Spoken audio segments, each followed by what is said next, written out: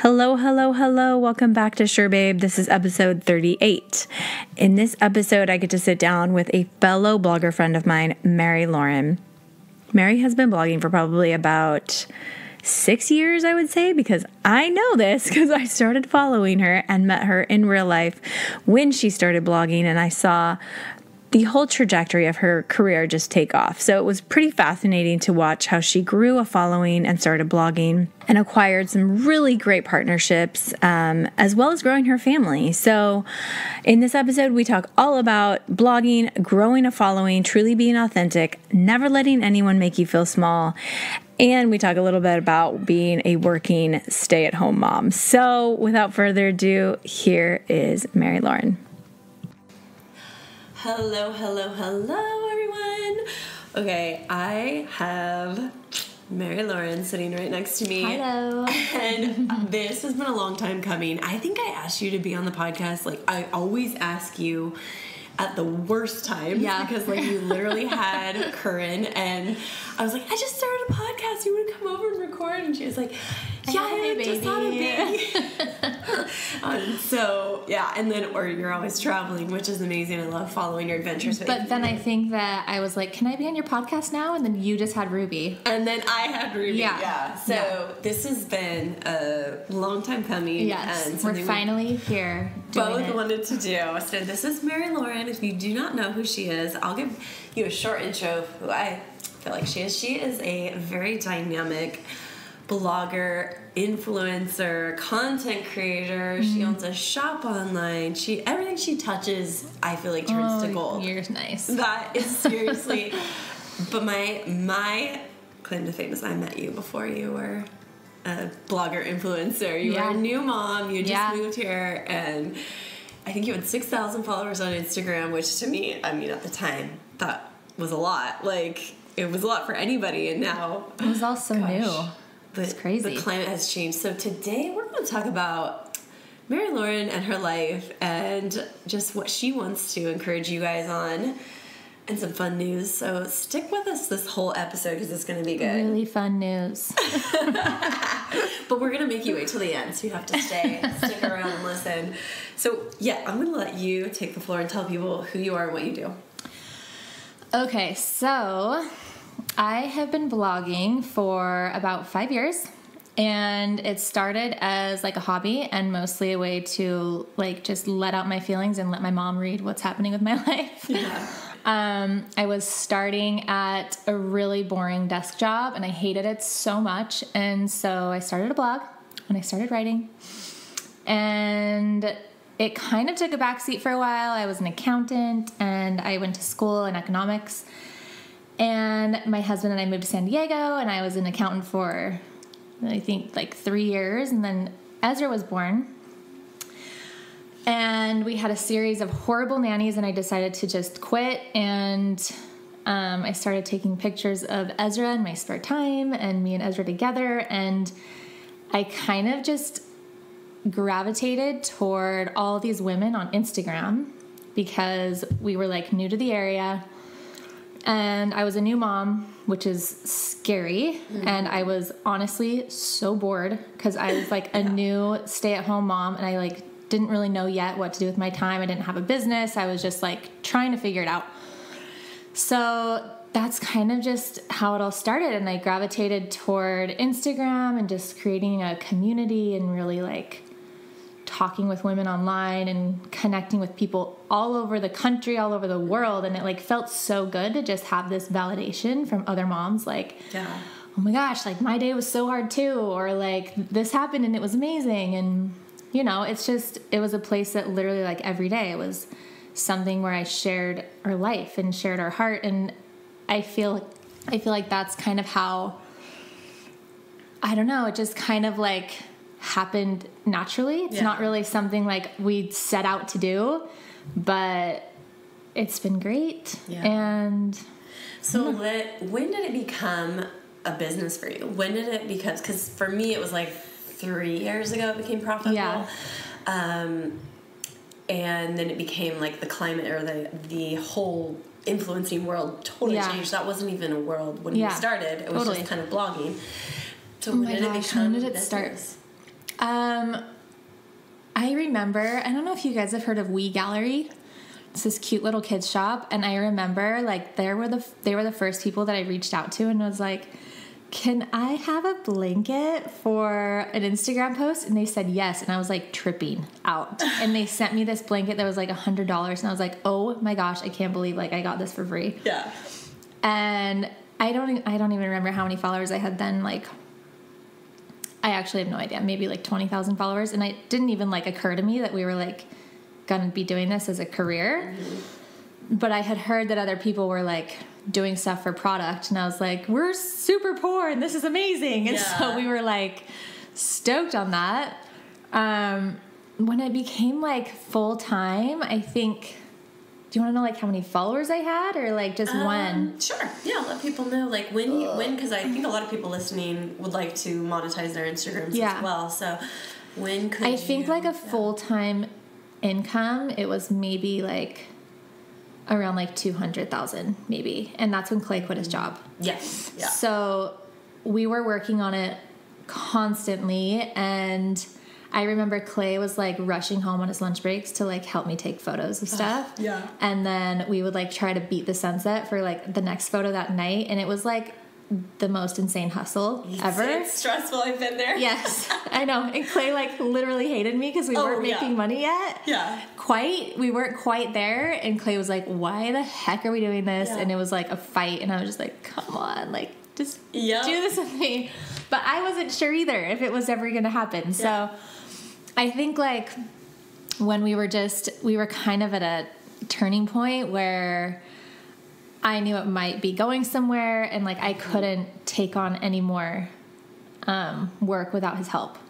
Yeah. So- or for me, it was when I was like, I can't take any more trade or free stuff Right. without getting paid because I'm putting so much time and effort Right, because I did that for a really long yeah. time too. Mhm, me too. Yeah, and that's when Clay would get the most mad. He's like, "You are doing all of this for like we a don't t-shirt. another stroller." Like, why are you doing this for a t-shirt Or a t-shirt. or like kids' clothing or whatever?" He's like, "Just go buy it." And I'm like, "We, I can't." That's so funny. Yeah. So- hopefully that didn't sound snobby when I was like, we don't need another stroller.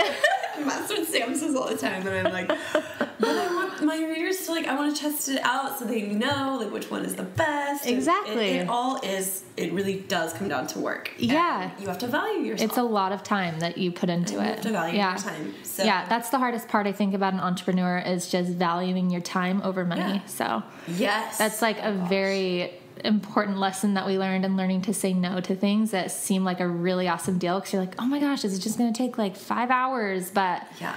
think about like what you're giving up in that five hours, even if it's spending time like with your kids or taking them to the park or I don't know, just valuing that more than the thing, The I thing. guess. But so, anyways, what was even the question? Oh, I don't even remember. Um, but okay, since we're talking about Instagram, let's just go into it and talk about. Um, obviously, things have changed since the algorithm, and Mm-hmm. it it really is a different place than when we Totally. first started. Um, what advice would you give to someone listening that's like, okay, is it too late to join the game? I really want to share my life too. That sounds great. I would love to monetize it. I'd like to stay home with my kids. What advice would you give to the person that's trying to grow a business or a brand online? Yeah. Oh my gosh, it's not too late at all. I've seen so many accounts lately that are just like exploding. And it's exciting to me to watch because I'm like, this isn't dying, it's still going. And I think if you find your right audience and you utilize all the tools Instagram has, which I'm honestly not very good at, but I think Instagram is looking for people who are really versatile in the way that they're using the app. Um, so like doing stories or doing IGTV and all the things, which the things. I like. This is the thing. This is the problem with me. I'm such an introvert that getting on stories and talking like stresses me the heck out. Like I can't do it on a daily basis and I have to force myself to do it. To do an Instagram TV video, I like want to die. Mm-hmm. So posting a photo, totally. I can like do that all day long. And I can talk about, you know, things that are really personal to me in captions. but when it comes to like utilizing the full app, I struggle. Like it's so hard for me. Yeah. So I think a lot of people are there with you. They don't like yeah, to to the camera. But it's funny because the mm. people that I love following are so good at it because Yeah. you're like you feel like you know them and you're like in their day to day life and like people like Natalie Borton or like Christina, Christina Warren. Warren. Christina's like my favorite person on stories because she's hilarious and she just like tells it how it is. yeah. So I think if you're like just being yourself and you're utilizing the app to its fullest, and I mean, their Instagram is going to be pushing the new features that they want to show. Yeah. I've always so that. Mm-hmm. yeah, so um, like if you're using IGTV and you're doing videos all the time, like that's what they're going to be. Yeah. Showing because it's a new thing that they're like excited about and they want people to start using. Yeah. You have to So- think of it as a business. If you're gonna grow, like as a business, you have to think about using the app as a business. I. Totally. Mm-hmm. Yeah. So that's totally something that I could be better at and that I'm totally still learning from other people. Yeah. Um, You know what I think might help you, and I was recently just coaching someone in this in their Instagram. What? I think you should just be more like being an introvert. I think you just need to have like days where you know you're going to look at the camera and talk to them. Yeah. So then also your audience knows. Like Monday, she comes on and she shares like a little bit of advice with us, and we get to talk to her. so and stressed out already. I'm so, So, stressed. Well, I, I was hoping that would take some stress away because you would know. No, like, that's true, I though. scheduled it. Like, on Mondays, I I'm put on makeup, Yeah, and I, like, exactly. I just wing it when I'm Yeah. like, hey, oh, I have something, and the kids are like sleeping. I'm gonna talk. Like, Yeah. but if you're more of like this organized or introverted person, like if you scheduled it and you knew like That's Tuesdays honestly I such a good idea. Tuesdays That's I do a try on and Yeah. in my IGTV videos, and you run it like a business more. That's what I'm trying to do. I think I'm, not. gonna do that. Seriously, you might have just changed my life. Okay, I think you just need to schedule it in. I think you need to have like a calendar. Yeah. to say, I like it. IGTV video goes on this day, and Yeah. Oh gosh, I like so it. So yeah, you really I think I might be it. able to do it if I treat it more like a business. Because I feel like sharing myself just in the everyday or taking videos of my kids or just posting whatever, I go to post it. I'm just like, eh, no, I'm not going to post it. Right, or you lose the ability to be in the moment. If Yes. you're always thinking that Exactly. I have to post this, I have to video it. Which is why I've totally like navigated away from it because it's taken away from like Yeah. being in the moment. that is the other side of Instagram Yes. that I'm glad we're talking about because you really do have to have boundaries Yeah. around it. Okay, so here's let me just tell you when a lot of people are like, "How are you like taking photos all the time?" I'm not. Yeah. No. I'm not at all. Like seriously, I get ready for photos like once a week. Yep. And I for me this totally works and I think that it might be like a healthy way to do it because you're not constantly thinking about like my next photo. Like we do a photo plan day, we like figure out what we're going to be shooting, like if we have sponsored content or if we just want to do some organic posts. And then we go out and shoot and the kids are like shooting for one day and we just go out do something fun. We plan like an activity. Everybody's like dressed and ready for the day and mm-hmm. maybe that happens like twice, once or twice a week. And honestly, the other days we just like you know, it's just every day. Like the kids are going to school and I'm just working on our business and I seriously wear sweatpants like most days. Yeah. so I, it's not like every day is we're shooting and we're doing all Yeah. this crazy stuff. Like it's just, it's honestly like, it sounds not as cool and not as glamorous, but it's Yeah. the truth. And it's, the it truth. makes it easier to be in the moment with your family more and to not worry so much about taking the perfect photo constantly. Yeah. I need to be better at that too.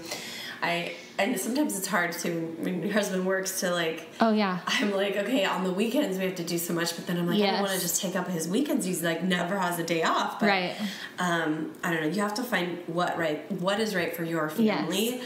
But I think it's really funny that you were mentioning how Clay was like, "Gosh, why are we doing this?" Yeah. Because I went through a phase like that with Sam, and he was like, "What the heck are you doing?" And I was like, Yeah. "I don't know." Like so many fights. I had so many fights. I didn't know what I was doing. I just knew it felt right, and Yeah. it lit me up inside. And so I was Yeah. like, "Please just like trust me in this." And I think once we started to like see money come in and things happen because of it, he was Right. like on board and Yeah. happy and super proud of the hard work that I put in. Yeah, to totally. producing good content. That's what Yeah. it's about, really.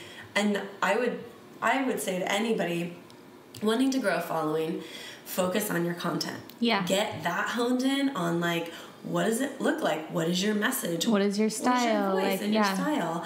And really don't look at the person next to you. I know it's hard and I do it all the time. Yeah. I'm like, so and so, how did they already reach out? Okay, Yeah. I've been doing this for like seven years now. Yeah. But um, I know. you know, really I have to come back to my content and the people that follow me and how I'm giving to them and servicing my audience. So I think once you find your voice and you find your photo style and you're like, you know, you're kind of in the groove of things, I think one of the biggest things is to just not ever apologize for who you are and what you're standing for and what you're posting about and just post from your heart. I think a lot of times especially working with like big brands and big businesses, it gets really hard because you're like mm-hmm. I don't know. I feel like they kind of want you to share a certain part of your voice that maybe isn't yours. And mm-hmm. you're like, that's kind of not me, but like the money's there. So it's finding a balance where you're like, I'm not going to say that, or that's not a product I'm going to stand behind, and just staying true to your own personal like Yeah. brand and your own voice, which honestly gets hard. It It does. does get really hard, especially when you're doing this to like you know, provide for your family. Mm-hmm. But I feel like to create a strong brand around your Instagram, it's so important. It really is. And we were just talking about like not apologizing for who you are. And I love that. I want to talk a little bit more about that with you because um, I recently had, it wasn't a negative comment, well, maybe a little bit. Um, it was like on Earth Day, and I, I did a collaboration with Aveeno at Baby, which I have always loved. Yeah. And I thought it was so great. Like Aveeno Baby's like, you know, recognizing Earth Right. Day. And so someone was like, Did you look into that? I have a I highly doubt that Johnson and Johnson is like a earthy friendly product or whatever. Yeah. And in the past I would have totally given that person my time and energy and like wrote back Yeah. to them and like would have had maybe like a reason for why I did it or felt bad or apologized. And now I'm realizing I don't need to give my Yeah. energy to every You person that everybody. disagrees Right. with it. Yeah, so you really do have to have that. It's it's like a little bit of a thicker shell, but it's also just an appreciation and an acceptance for who you are as a person Right. and what Who you choose to stand behind, what you truly use in your life. Yes. And if you know you're being authentic, yeah, if it, if that's something that you use and you share, like if I told you, like, oh, this product is awesome, like you're my friend and I think it's cool. Yeah. That's basically what I'm doing on Instagram. Yeah. There's not anything that I'm going to be like, you should look at this that I don't think is like good worthy of my time. yeah. So I feel like finding your voice, being authentic, being like unapologetic, that's Yeah. one thing that's it's taken me a really hard like a really long time to Yeah, stand can you give an example of something that taught you like a little bit? So I am a huge Brene Brown fan. Like she talks a ton about being in the arena, meaning like doing your work and like if you're doing what you're called to be doing, you're gonna get like scarred. You're gonna get things thrown at you. Mm-hmm. You're gonna get judgment. Um, but you got to do it anyways because you the credit belongs to the person that's doing the work and Right. So I feel like she, I mean, she is a vulnerability and shame researcher. So what she's doing is essentially taking the shame out of being who we are. Yeah. Um, so can you give an example of a time where you were like, never again, I'm not going to be shamed like that, or I need to be proud of who I am? Um, so I think there are a lot of, it's not like a lot of shame, I guess, behind it, but there are a lot of times when we're presented opportunities like, um, I mean, like in our life, like we don't drink alcohol, and there have been a lot of um, campaigns that are surrounding alcohol or wine or whatever, and it's just something where it's like, you know, there's like no amount of money that you could pay me to do that. Right, do you know what I mean? Because it's just not in our life. And that's something that's, I mean, I'm not against it. It's just not something that we're like doing in our life. So it's not something that I want to share. Also, oh, this one was crazy. So we did a campaign that was supposed to be um, helping raise money for kids who like don't have school lunches over the summer, Uh-huh. and it was providing meals for kids um, like during that gap. So, but it was a milk campaign for the milk. I think it was like Milk Life or something. But oh my gosh, I was reamed for that campaign because of milk. Really? It was horrible. And I remember that day I was sitting there sobbing because the comments coming in, just like, I'm so ashamed that you'd be posting for milk. And I was just Oh, like, gosh. oh my gosh, I had literally no idea that I was going to get that kind of Yeah. backlash. And I'm sorry, but my family drinks milk.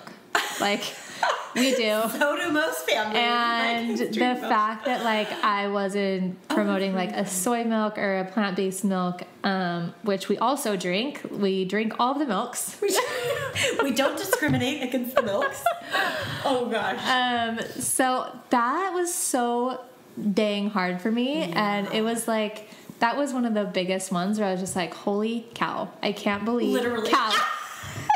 I can't believe like the effect this is having, Yeah. and it was pretty horrible. But it also made me feel like and you were doing. it just made me real right i was just like okay i totally get if you're against the milk industry Yeah. i can totally see and like after i did some research i was like i can understand where people are coming from i totally get it Okay. but that wasn't really the point of my campaign the point was to raise money for the kids who are going the summer without, Without lunches. lunches. right so that's Your kind of my.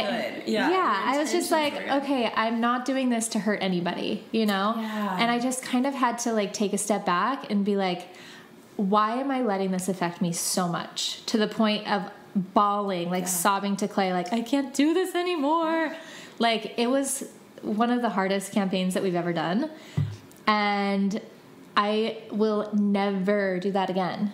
Because it just doesn't affect me like it used to you know? It's just You mean Through you each thing- do the campaign again, or you no i will never let somebody make me feel that way. Okay, okay. because i i feel like after a while it just becomes more apparent that like my voice is who i am. Yeah. and Yeah. i never tried to hurt anybody i was just promoting something i thought was good and genuine Mm-hmm. and that's not like my problem Yeah. You, You know, know? I I have some insights and I recently had something like that too where I my I did this like International Women's Day shoot. Um, and it like pulled it together in like three days and just asked whoever I knew was around and then I was like I got to this point where I was like like I can't ask any more of my like white friends because Yeah. if it was all white people would be like this is International Women's Day and so I was like I need to branch out and think Yeah. like you know um, and I really, literally was just asking people I knew, like that I was like, okay, are they working? Are they here? Are they there? And and we just got. I just wanted a picture of women, but Right. I tried to make it as diverse as possible. I still got backlash, Yeah. and it was sad because it was like my heart was like so pure in Yeah. wanting to just Show an array of every woman. right? Yeah. the- and and if I ever did it again, I'd probably cast it, but I didn't have time. And I talked to my brother, who's like my coach, and I was like, it was on my birthday. My birthday's on International Women's Day, Yeah. so I was like crying to him, and I was like, this is awful, and like, and he said, listen, this doesn't take away from your goodness, and I was like, that was it. I was acting like it may it was a f- reflection on me that I'm bad in some way or Right. that my negative fear is that I you know I've messed up Right. and he's like you know sure maybe you could have done it better. What could you learn from this? And I was like yeah I learned that you know like I should sorry this is my daughter right now. I learned that I can um plan things out better but also it came down to the fact that it's like doesn't take away from your goodness. Right. if someone judges you if someone Right. has a negative thing to say about what you're doing it doesn't take away from who you are. Totally. So. Yeah. Yeah that's amazing um, any more thoughts on this of like not apologizing for who you are what could you um share with someone So I feel like along those lines. So recently I had a conversation with. This is kind of how like this whole um, podcast came. I mean, between me and you came Yeah. to light was a post that I did the other day. Um, do you remember the quote? I forget the quote. I Did, can't was it in your quote. stories or was it on your Instagram? Um, it was in my stories. And I said, I DM'd you and said, girl, let's get on and talk about this. Yeah. I'm just gonna Shows look you it how up real organized I am in life right now. I know. Okay, so the quote is be somebody who makes everybody feel like a somebody. So the other day, um, I had a conversation with somebody who was pretty high up in the biz, like major, major. And it wasn't a blogger, it was somebody who works kind of on the corporate side, I guess, of blogging. So I was speaking with her and trying to like I don't know. I felt like I was putting her on this pedestal and like trying to impress her or like pick her brain a mm-hmm. little bit and just, you know, have a conversation with her. Mm-hmm. And she like completely blew me off. Like I was like peanuts, mm. like nothing. And I, she, I don't know, I walked away from that feeling so horrible about myself. And I was like, she sees me this way and she must be right because she's so powerful and so high up there. And in my mind, I was just like, oh my gosh, what did I say wrong? What, what could I do better? Like, I completely let it get to me. Yeah. And I, it took me like an entire day of just like self reflection, and I was so down about it. But it just made me realize like, why am I letting these, why am I giving these people that power? Mm-hmm. Number one, to make me feel that way.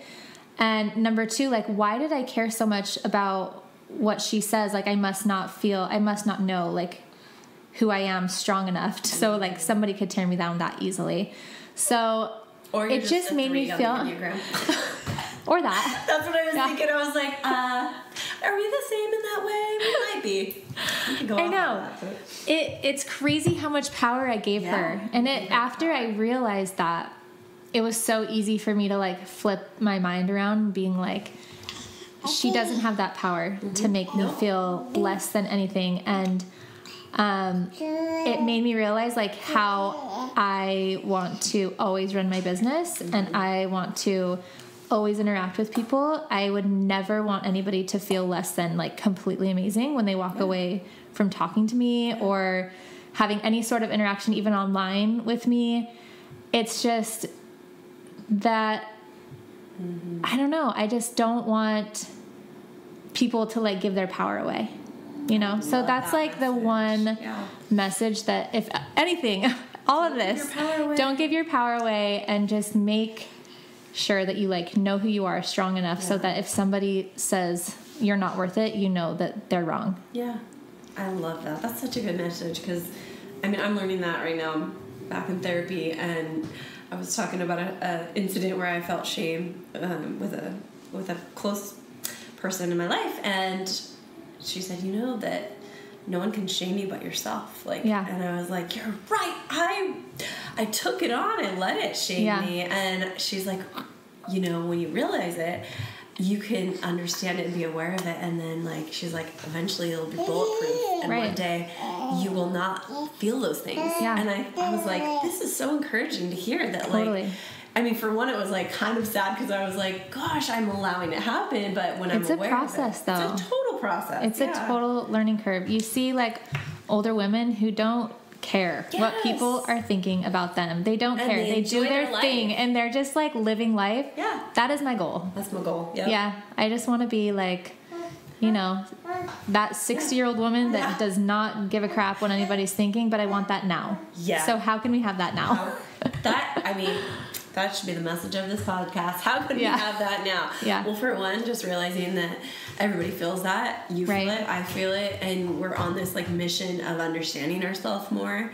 Um, I feel like that's a journey in and of itself to learn. Like, hey, this is who I am. I.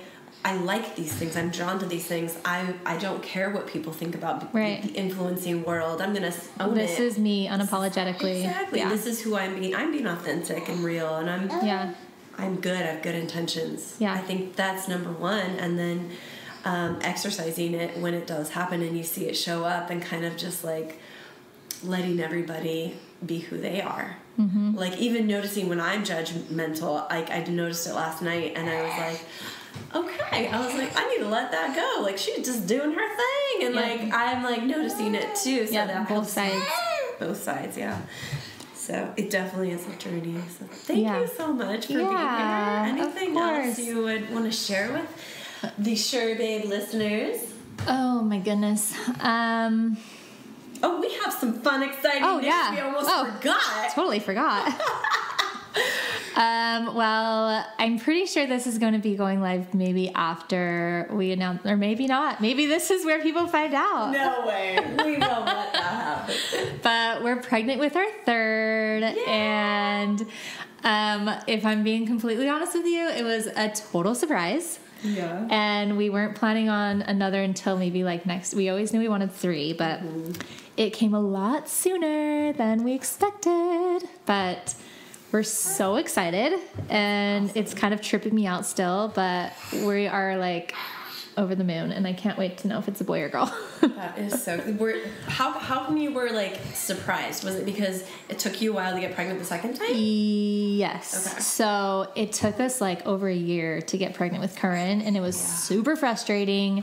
And I mean, this is like getting into like some serious details of our life. But like literally one time when I was pregnant, and I did not believe that I was like, this, there's no way. There's absolutely no way. That's how Ruby was Yes. conceived. Yes. I, I think it I was said that crazy. on a on a podcast. I was like, that's why I was shocked. It felt like it was like an accident, although it wasn't. Yeah. Um, because it was like the the chances were I know. slim, Like, and then we super got, slim chances. we got our girl. who is smiling radiantly right now. Sweet girl. So that's exciting. I know. Okay, can't wait. So we're gonna be due in December. So A December baby. Yeah, December baby. Christmas time. yeah. Well, three is amazing. Yes. And I'm excited to see how you like just advance into motherhood as a you know having three kids. Oh, gosh. And traveling. I Nervous. can't wait for that. Traveling with three. Oh my gosh. I know you're not gonna stop. so I'm excited to see how you do it because yeah, I recently went on a road trip with all three kids. That I saw fun. that. It That's would've been incredible. Really great if I hadn't have gotten hives at the end. Oh my gosh. Was that fun? Was that a fun it. trip? The third one, if you just keep them in their car seat, like they'll just yeah. people will be like, Perfect. "Oh, CPS. Chrissy doesn't take her kid out of the car seat. yeah. So Uh, well, thank you so much. Yeah, thank you for I'm glad we finally did this. it It's been a long fun. time coming. It's been a long time coming, and I'm just super excited for you. So thank you so much for being here. Yeah, thanks. Ruby, say bye. Bye. Say bye bye. All right, I hope you guys got a lot out of that um, episode. I hope that um, if you're aspiring to share your life online, that maybe this gave you a little bit of encouragement and insight into how to do so um, in an authentic way.